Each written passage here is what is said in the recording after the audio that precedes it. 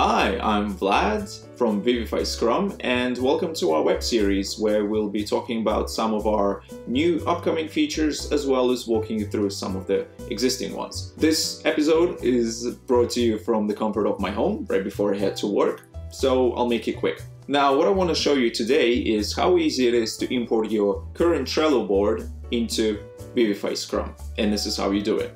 First of all, you need to head to your Trello and you head over to the top right corner where it says show menu and you click on print and export.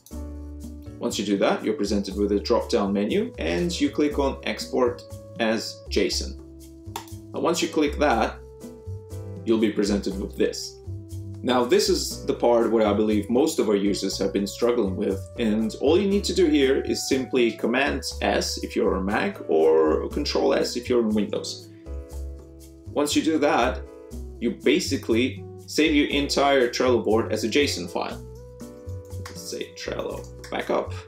Whoops.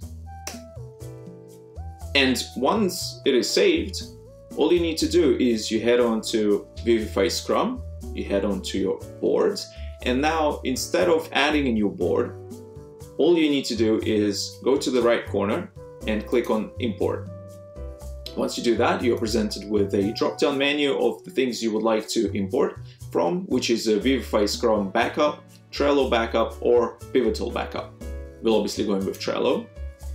And now you just drop the JSON file right over here. Click on Start Import.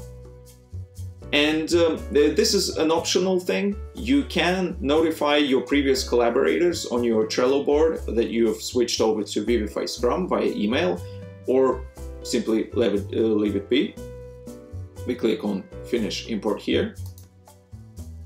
And voila, your entire Trello board has been copied over to Vivify Scrum and you can essentially just continue where you left off, which is great.